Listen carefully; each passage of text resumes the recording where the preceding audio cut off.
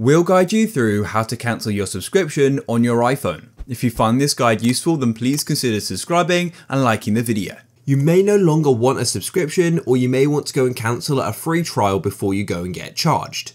So to go and do this, all you need to do is open up your settings just like so.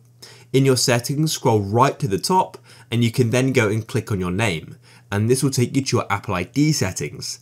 And then you can just go down this, these settings until you see the option for subscriptions. Click there, it'll go and take a moment to load. And at the top, you're going to see your active subscriptions. So these are subscriptions which are currently ongoing. For example, here I've got an Audible subscription, which is due to renew, which I want to cancel. So go and click on it. And then, as you can see, I've got the option for cancel free trial. Now yours may say cancel subscription, it'll be in a very similar place though.